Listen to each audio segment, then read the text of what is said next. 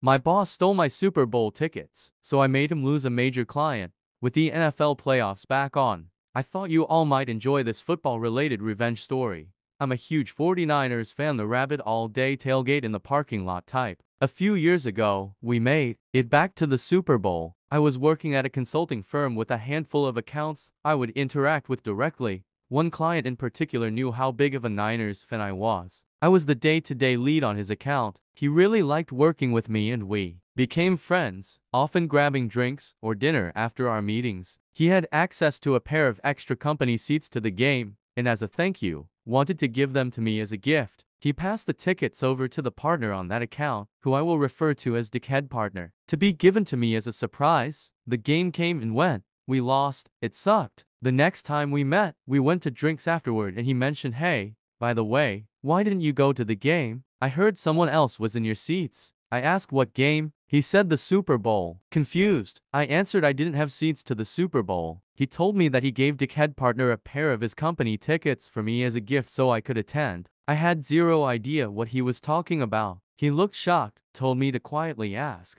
around about it and get back to him. When I was back in the office the next week, I found out through one of the secretaries that Dickhead Partner had given a pair of Super Bowl tickets to another one of his clients as a gift from our company. I might have let this sort of thing go to keep the peace under different circumstances, but these were seats on the 30-yard line to see the fucking 49ers play in the Super Bowl. I was pissed. I considered confronting Dickhead Partner myself, but realized it was the client who had noticed I wasn't there in the first place, so if I let him handle it, there would be no blowback on me dot dot dot so I texted him hey, I just wanted to thank you so much for thinking of me with those seats. It appears that they were given to another one of our firm's clients. He texted back right away, in all caps, are you shitting me? And then pretend I never told you. Let me handle. He followed up with me about formulating a plan. A few days later, we were asked to come down for a meeting in their office. The client requested the partner be present, not entirely. Unusual, so Dickhead partner and I hopped a flight the next week and headed over to their office.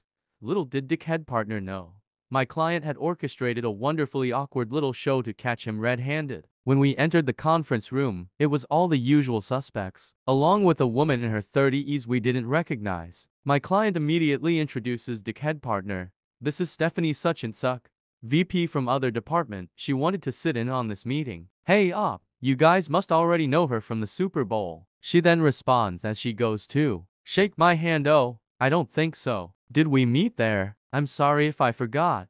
Client responds, gee Steph, how much did you have to drink? They were sitting right next to you. Client looks at me, and I say, sorry client, I wasn't there. Are you thinking of someone else? Double quotes dot dot at this point. Dickhead partner is looking visibly uncomfortable, probably trying to come up with an excuse. He starts in with an um, when Stephanie says over him no, so and so from other company were in the other seats. By the way, I was wondering why we gave company seats to those guys. Is there a project we're working with them on that I don't know about? Obviously not. They were in completely different industries. It would be like Coca-Cola partnering with John Deere. Dickhead partner lets out an again, and the client immediately speaks over him asking Dickhead partner, I gave you those tickets for op. At this point Dickhead partner is turning bright red. He responds oh, uh, well he wasn't able to make it, so he must have given the seats away to someone else, and turns to me looking for me to cover for him. Client smirks at me. I respond uh, what are you talking about? Client, you gave me tickets to the Super Bowl. Client suddenly raises his voice Dickhead partner. Those tickets were a personal thank you gift from me to op. Did you give them away to someone else? Pause was it another client? Dickhead partner butts in with oh, um, maybe something got mixed up in the office. Client went quiet for what probably seemed like an eternity to Dickhead partner. He then looked down, grabbed his portfolio and iPad, put them into his briefcase, and said I think this meeting is over. Up it seems as if I owe you a thank you gift. Let's go to lunch. Stephanie, you're welcome to join. Dickhead partner, I need to evaluate our relationship. Please go back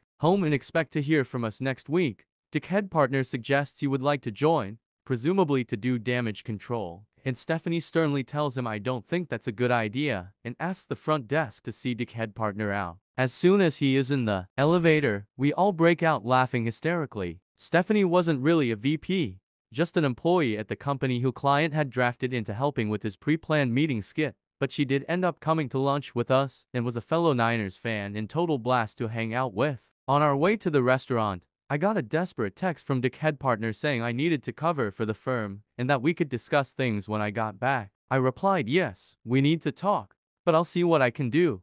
Client told me to wait a couple hours and then respond to him one. To expect invoices for the resale value of the Super Bowl tickets resale is way above face value. It was over $10,000 as well as our lunch he picked a pricey spot and made a big show of overspending and that he expected them to be paid immediately. Two expected I be given a direct apology 3. Expected a written apology to his company for what he considered theft, and for he will only interact with me or another one of our firm's partners, never dickhead partner. This whole thing caused a stir with the other partners, and I actually came off looking great, because it appeared that I had made a good faith effort to save the client for the firm despite being the victim in this situation. The client would transfer to another partner, which meant the dickhead partner lost his profit share on any work with them. Oh, and the other partners in the firm made Dick head partner pay the invoices back out of his salary dot dot dot in retrospect.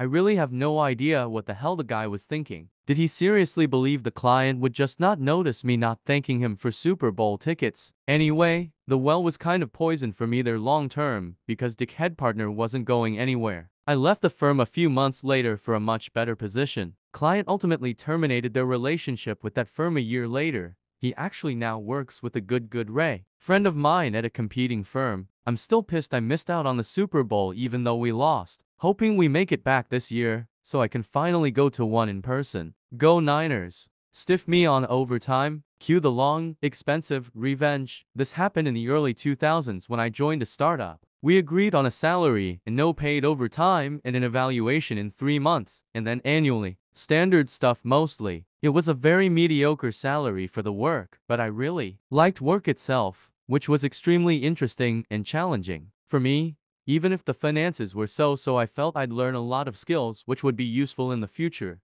After three years and having 10 decent clients and a bunch of clients trialing and money rolling in, the talk turned to back pay and paid overtime plus compensating for past overtime. At that point, around $50,000 in OT had been accrued, which is a lot. Legally it couldn't be back pay, so the talk was always of a discretionary bonus. Now at this point, everyone is okay with this, myself included, and this was discussed in writing, via company emails too, so I felt secure and that no bad will was in play. I felt the company should be able to afford the payment, Equally I'd happily settle for equity at a discount which is legally possible there if cash flow was an issue. The discussions about back pay, possible equity, and now started to drag on and I was getting irked by this. In the end, I was made an offer of equity which meant the company valuation was far beyond anything reasonable, in the hundreds of millions, and I'd get a minuscule stake less than 0.01% of a company with 9 employees and a projected annual turnover of around 2 million. It was a FU of sorts to stiff me out of money and I didn't want to take that lying down. To say I was furious was an understatement. Anyway, the day he made that offer I handed in my resignation. This sent the CTO into panic mode because the CEO had refused an updated contract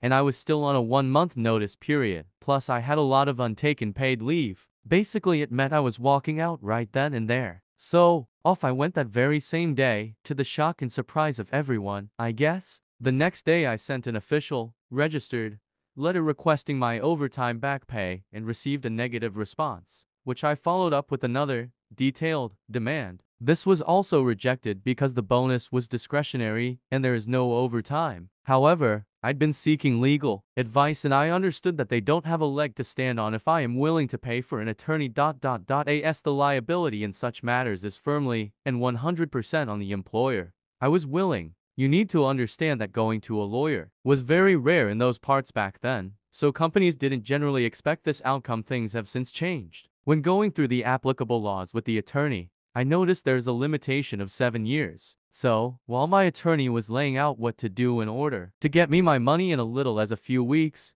I just asked him what if we wait until it's 6 years and 11 months after the transgression and then file, demanding interest. I wanted this because the law stated that back pay is due at a 9% APR above the base rate 3.25 at that time. Accrued daily, for every day past the due date, we're looking at 12-12, 5 compound daily APR. The risk is that the company folds in that time, but I decided to take that risk. I sent one final letter stating that I expect all the owed and accrued amounts to date to be paid immediately. Of course, nothing happened. For the next few years life rolled on. The company did grow and become a known player in the area. When the time came, I found an attorney and started the case. We had copies of all the communications, copies of the registered letters and responses. The back pay demanded now, including interest, was $112,000. What I didn't know was that in addition to this that there are fixed penalties for each instruction to perform uncompensated overtime. The total demand was something like $135,000. To say that, the CEO, who is still CEO, lost his tea would be an understatement. I got a very verbally abusive phone call which I dutifully recorded as it wasn't completely unexpected and was added to the filing. The CEO fought or tried to, but when the judge heard the phone call, he took an immediate dim view. Reading through all the communication just put more nails in the defense's coffin. The judge just ruled and instructed the company to pay immediately and without delay, and also ordered the company to pay all my legal costs. They also got a full audit from the Department of Labor.